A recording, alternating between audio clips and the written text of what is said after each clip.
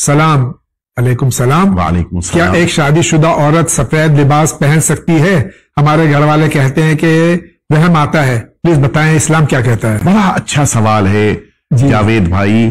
हमारे हिंदुस्तान के कल्चर में सफ़ेद लिबास को बेवा का लिबास समझा जाता है। जबकि हकीकत यह है कि इस्लाम का लिबास सफ़ेद लिबास है। जी। हुजूर खत्मी मरतबा सल्लल्लाहु अलैहि वसल्लम ने अपनी हयात तैयबा में हमेशा सफ़ेद लिबास पहना है जी। अहले बैत अथार भी सफ़ेद लिबास ही पहनते थे। और बाज रवायतों में हत्ता उस जमाने की खवातीन की शादी के मौके पर भी जिस लिबास का ज़िक्र है वो सफ़ेद लिबास का तस्करा है।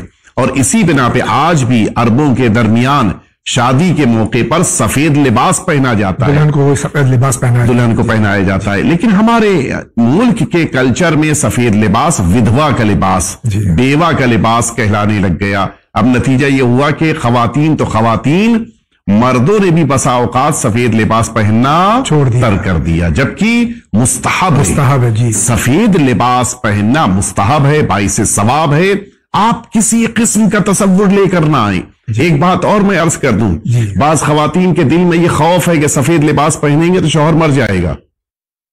यानी सफ़ेद लिबास से मौत का क्या ताल्लुक है? मलकुल मौत को अट्रैक्ट करता सफ़ेद लिबास। अजीब चीज़ है।